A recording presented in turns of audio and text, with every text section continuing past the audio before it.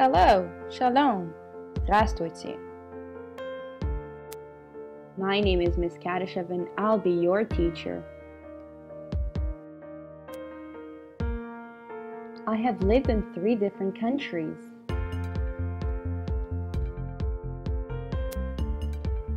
I completed my Bachelor of Arts with honors degree at York University specializing in business and society. I went to Teachers College at OISE and I completed my master's at UOIT.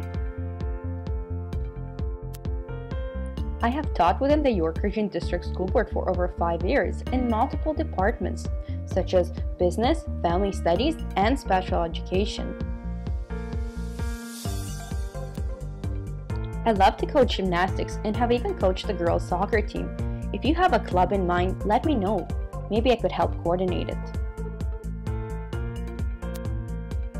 I am also a DECA advisor and help students with their case studies. Go DECA go! Some of my favorite hobbies include going to the gym, going hiking, traveling around the world, and going dancing. I'm excited to meet all of you this term. Don't hesitate to ask for extra help. My accomplishments are based on your understanding of the material and your experience in our classroom.